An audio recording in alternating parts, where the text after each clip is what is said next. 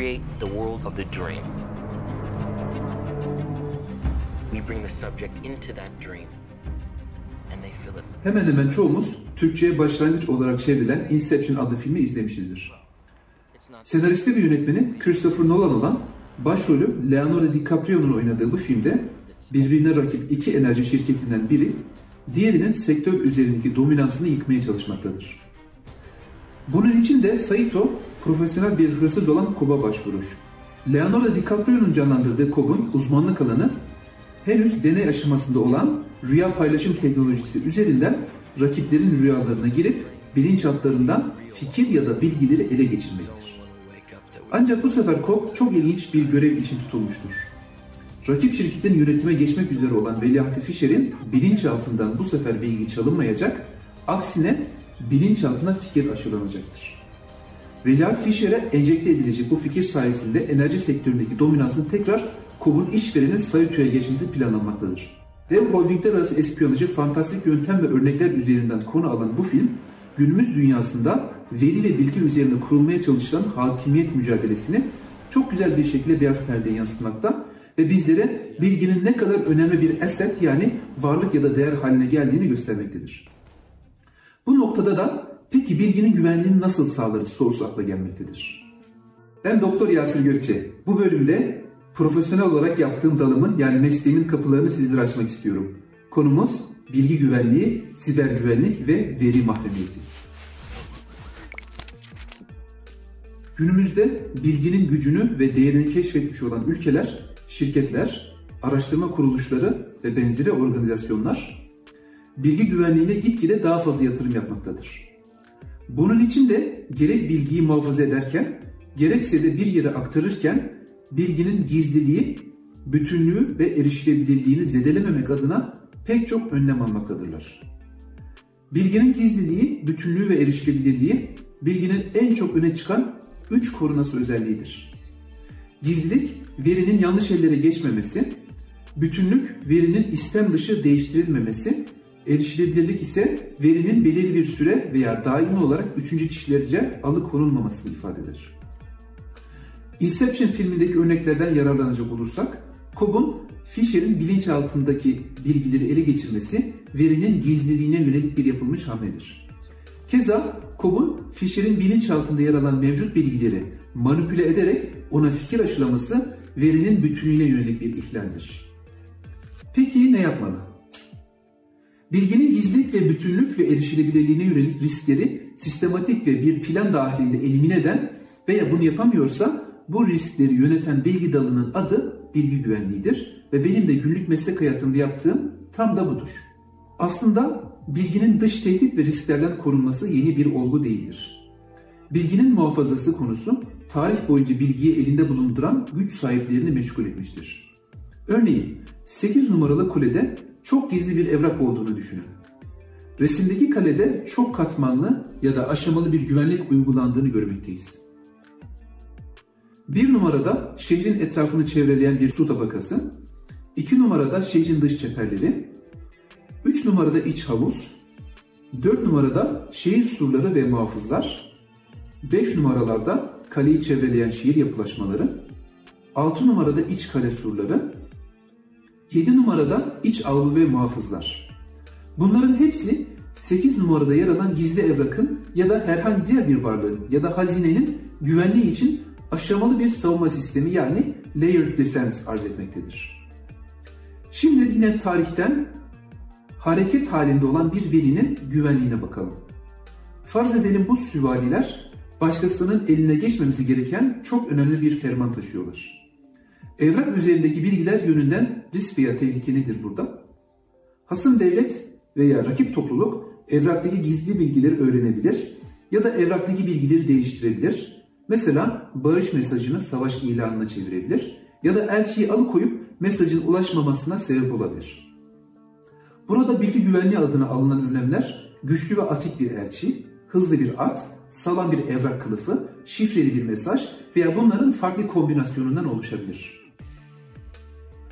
Günümüze gelecek olursak, veri ya da verinin işlenmiş haliyle bilgi, genelde bilgi teknolojileri yani IT sistemleri marifetiyle toplanmakta, depolanmakta, transfer edilmekte veya başka bir şekilde işlenmektedir. Bu sebeple bilgi güvenliği siber güvenlikte eş anlamda kullanıla gelmektedir. Bununla birlikte bilgi güvenliği siber güvenlikten daha geniş olup IT sistemleri marifetiyle işlenen verilerden başka kağıt gibi fiziksel olarak derc edilmiş verileri ve hatta kafamızda yer alan ve sözlü olarak aktarılan verileri de düzenlemekte ve regüle etmektedir. Yukarıda bilgi güvenliğini tanımlarken bilginin gizliliği, bütünlüğü ve erişilebilirliğinin sistematik ve risk eksenli bir şekilde korunması demiştim. İşte bu aktiviteleri düzenleyen ulusal veya uluslararası norm ve standartlar mevcuttur.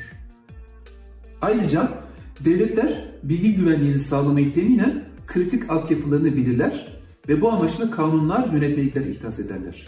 Örneğin Almanya'da BSI Gesetz yani Federal Bilgi Teknolojileri Güvenliği yasası mevcuttur. Avrupa Birliği düzeyinde ise benzer şekilde NIST Directive yani bilgi ve network sistemlerinin güvenliği direktifi bu konuyu düzenlemektedir.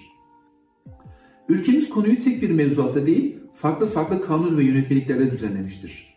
Örneğin internet ortamında işlenen suçlarla mücadele edilmesi hakkında kanun veya elektronik haberleşme ve bilgi güvenliği yönetmeliği gibi. Bir organizasyonda Information Security Officer olarak görev yapan yani diğer bir deyişle bilgi güvenliği uzmanı olarak görev yapan bir çalışan bütün bu standart norm ve regülasyonlardan kaynaklanan yükümlülükleri kurum iç politikalarına yansıtır ve bu yükümlülüklerin yerine getirilmesi amacıyla gerekli organizasyonel veya teknik tedbirlerin alınmasını temin eder. Gerektiği durumlarda ise kurumun bu yükümlülüklere uyup uymadığını denetler ve bunun kurum yönetimine raporlar. Peki bu tedbirler somut olarak nelerdir? Inception filmindeki Fisher'in şirketinde çalışan bilgi güvenlik uzmanları örneğin Fisher'in bilinçaltını müdahale ve bilgi hırsızlığına karşı eğitmiş ve hatta silahlandırmıştır. Bizler tabii ki bu kadar fantastik şeyler yapmıyoruz. Örnek vermek gerekirse kurum çalışanlarının bilgi güvenliğini zedelememesini teminen kurallar tanımlıyoruz.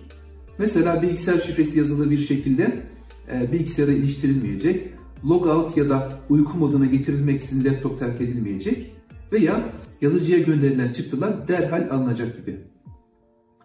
Bilgi güvenliği uzmanı bu kuralları görünür bir şekilde kurum panolarına asar ve çalışanları bu kuralların uyulması konusunda eğitimden geçirir. Benzer şekilde şirket ya da kurum kaynaklarının kritik veya hassas olma seviyesine göre sınıflandırır ve bunlara erişim konusunda bir takım kısıtlamalar getirir.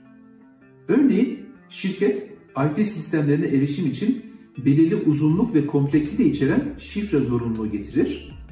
Keza çok kritik ve gizli bilgileri proses eden bir yazılıma olan erişimi Multi-Factor Authentication dediğimiz çok faktörlü kimlik doğrulama şartı getirir. Kurum arşiv ya da server data center gibi fiziki yerlere erişim konusunda pin girme ve kart okutma gibi kurallar dikte eder. Keza bilgi güvenliği uzmanı SOC Analyst dediğimiz Security Operations Center analistlerine yardımcı olmayı teminen onların tabi olduğu çalışma düzenlerine ilişkin belirli bir proses yazar yani süreç. Bu sayede SOC analistler Tier 1, 2, 3 dediğimiz aşamaları bilir ve hangi aşamada bir security incident yani güvenlik ihlali teşkil edebilecek vakayı kendisi üstlenmeli, hangi şartlarda vakayı bir üst aşamaya escalate etmeli, security occurrence, security event, security incidents arasındaki fark nedir? Yani hangi kriterler sayesinde bir vakayı güvenlik ihlali olarak tanımlamalıdır? Nasıl dokümente etmelidir? Kime haber vermelidir? Ne tür ön müdahale önlemleri almalıdır? Güvenlik ihlali durumunda yasal bildirim yükümlülükleri nelerdir? CERT dediğimiz Security Incident Response Team yani güvenlik ihlaline müdahale ekibi kimlerden oluşur ve çalışma usulü nedir? Ne zaman dijital forensik ekibi dahil edilir?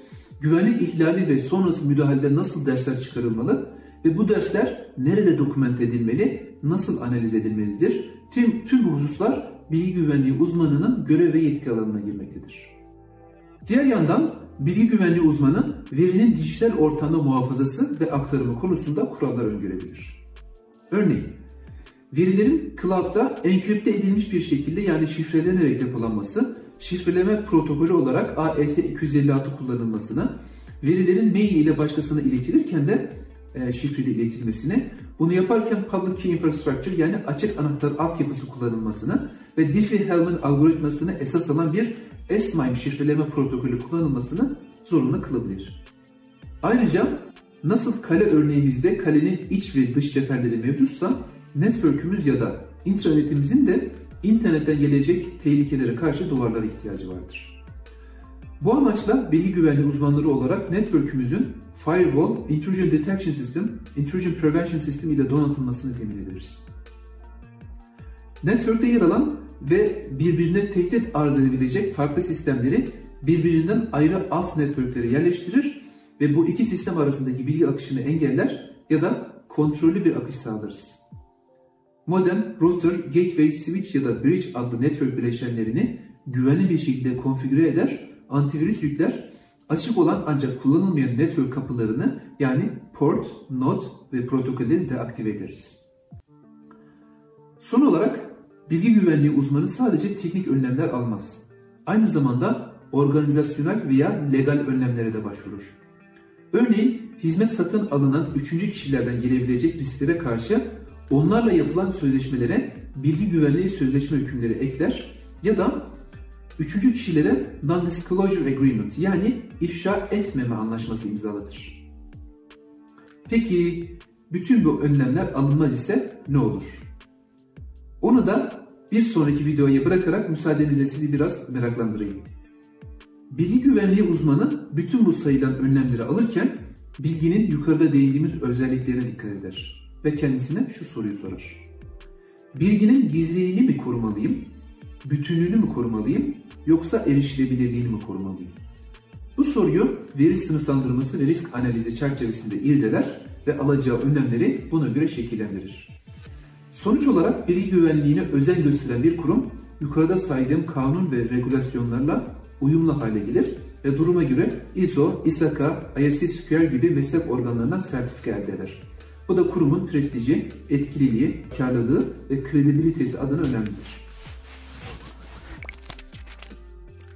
Kısaca data privacy yani veri mahremiyetine de değinmek istiyorum.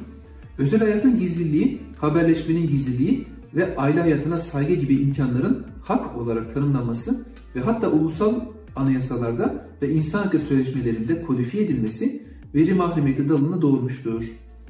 Bu da kurum ve verilerin gizliliğinin aksine bu sefer kişisel verilerin gizliliğini bireyler lehine düzenlemekte ve kişisel veri üzerinde yapılacak herhangi bir tasarrufta bireyin rızasını temel almaktadır.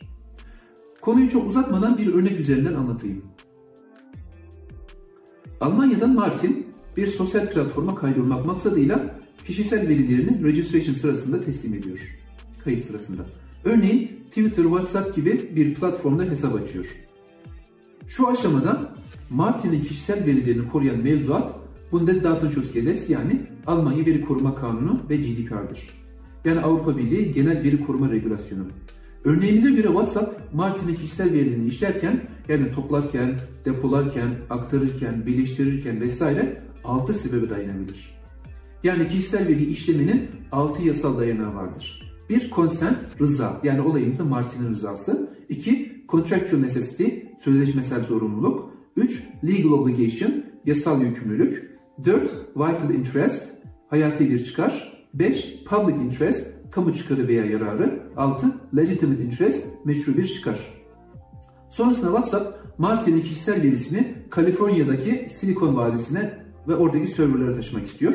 Kıtalar arası bu veri transferini AB ile ABD arasındaki Privacy Shield adlı anlaşma düzenlemekte iyi ki bu anlaşmayı AB Adalet Divanı geçersiz kıldı. Kaliforniya'daki serverlarda bulunan kişisel verileri California Consumer Privacy Act yani Kaliforniya Tüketici Mahremiyeti Yasası korumaktadır. Son olarak WhatsApp'ın verileri Türkiye'de konuşlu bir Big Data firmasına sattığını farz edelim. Bu durumda da Martin'in kişisel verileri 6698 sayılı kişisel verilerin korunması kanununun düzenlemesi altına girmektedir. Nisan 2016'da 50 milyon Türk vatandaşına ait kimlik bilgilerinin internete sızdığını, herkesin erişimine açık hale geldiğini düşünürsek Martin'e ve kişisel verilerine Türkiye'de bol şans diliyoruz. Bugünlük benden bu kadar. Bilgi güvenliği ve veri mahremiyetine dair yorum ve sorularınızı videonun altındaki yorumlar kısmında okumaktan memnuniyet duyarım. Ayrıca İnstitüdiye'ye abone olmayı ve bildirimleri açmayı sizlere bir kez daha hatırlatmak isterim. Videoyu beğendiyseniz beğen tuşuna basmayı da ihmal etmeyelim. Kalın sağlıcakla.